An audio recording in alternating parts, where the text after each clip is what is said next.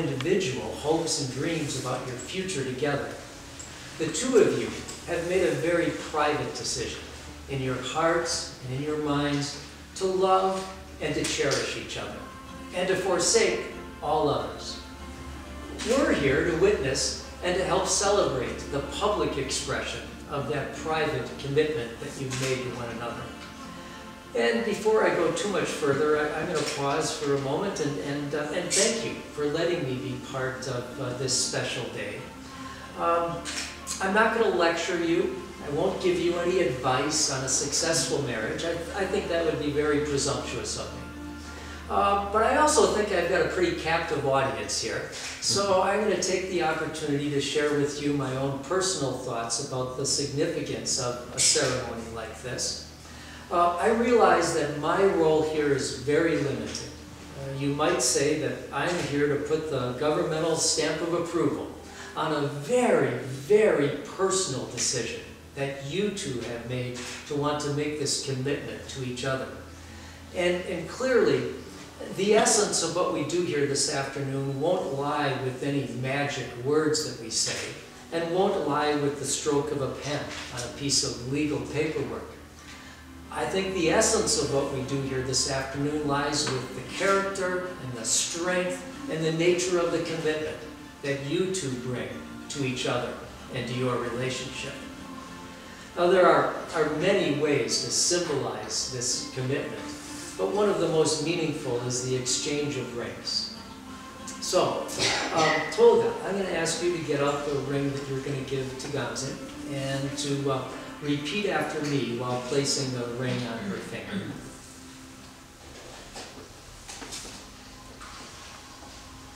Gamze, I give you this ring. Gamze, I give you this ring. Please wear it as a symbol. Please wear it as a symbol. Of our love. Of our love. And our respect. And our respect. For each other.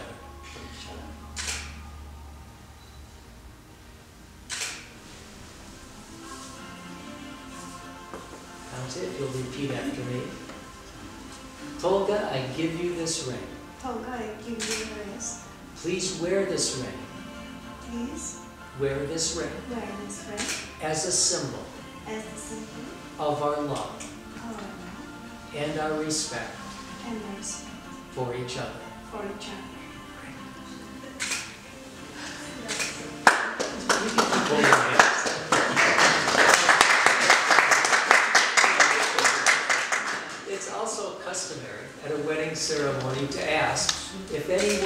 A reason why this couple should not be joined together in marriage today, and if so, you must speak now or forever hold your peace. Well, good. I was hoping. it, it brings us to what I always think of as being the most important part of the marriage ceremony. It's the uh, marriage vows. And uh, Tolga and Gamze have decided to do two vows. Uh, the traditional marriage vows, which we will do first. And then they would like to share with each other and share with you their own personal vows to each other. So, Tolga, do you take Gamze to be your lawfully wedded wife, for better or for worse, in sickness or in health, for richer or poorer, and for today and always? Yes. Gamze, do you take Tolga to be your lawfully wedded husband, for better or for worse, in sickness or in health, for richer or poorer, and for today and always. Yes. And now, uh, you would both like to share your own personal vows. Uh, Gamze, would you like to go first? Okay, good.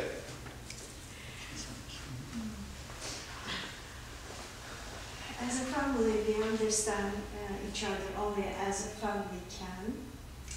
Uh, a family is forever and there isn't uh, other only like ours. Tolga? Gamze, uh, you are so beautiful. My heart, I know that uh, you will be my um, friend, my faithful partner in life, and my one true love.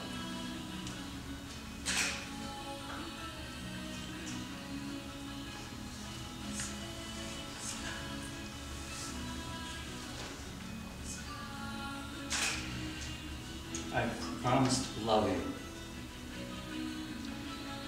you, and cry.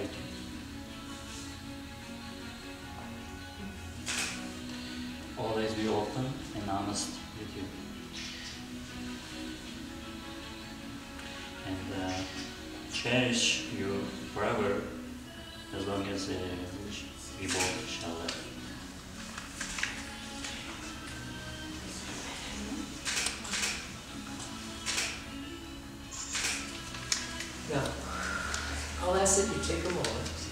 Join hands again if you can. Um, First of all, that was beautiful.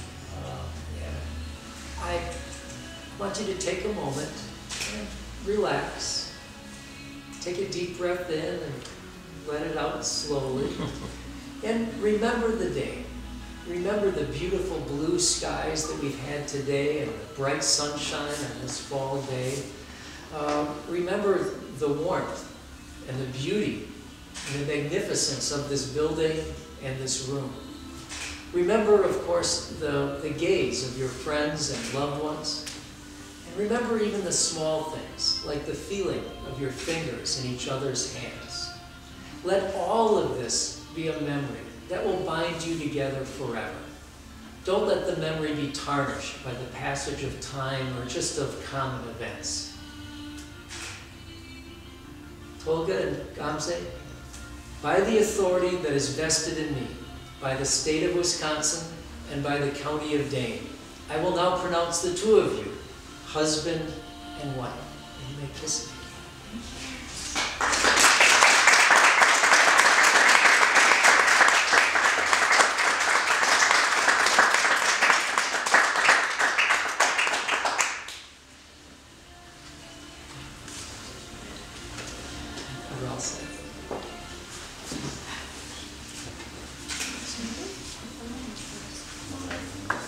Folks, you can, you can walk out, or you can have people come up and join you.